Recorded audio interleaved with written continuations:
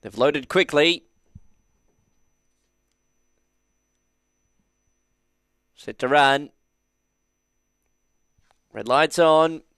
Gates are back, away immediately. Champagne Garden, the first one into stride, but doesn't want the lead. Son of a Brut's going forward with Costa Royale. Deemful won't be far away, likewise Surmise. So as they settle down, Son of a Brut just leads Costa Royale. Surmise makes a line of three. A length back to Deemful, fourth, and Champagne Garden back to five now. Two lengths away to Bon and last is Face the Facts.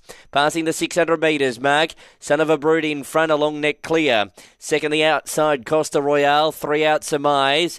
Deemful behind the speed, fourth White Cap, then Champagne Garden.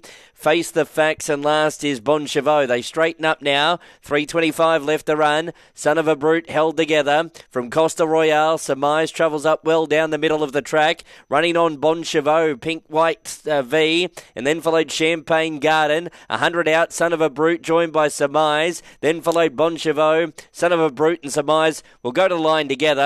And there's little in that. Surmise the outside of Bon Chevaux.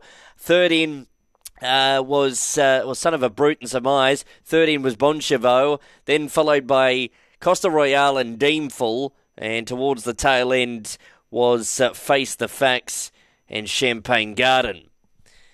Photo finish, maybe Surmise on the outside will just get the better of Son of a Brut. Stand by for the results. Surmise the outside or Son of a Brut have pretty much hit the line together. Bon was improving late in the trial